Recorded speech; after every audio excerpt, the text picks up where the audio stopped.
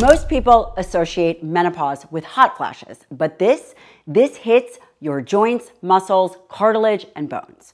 More than 70% of midlife women experience these symptoms. And in fact, one in four say it's disabling, yet almost no one talks about it. This is an early sign of vulnerability.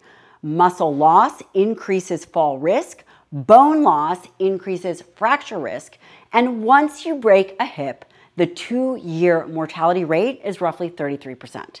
Now, here are some of the proposed treatments menopausal hormone therapy, two to three days a week of resistance training, protein and nutrient dense foods to provide all of the nutrients. Now, supplementation. Creatine supplementation, which may support strength, performance, and brain function. There is also emerging evidence for collagen supplementation for joints and bones. Now, most important, you do not need to accept frailty as your fate, but you do need to accept that you need a great plan.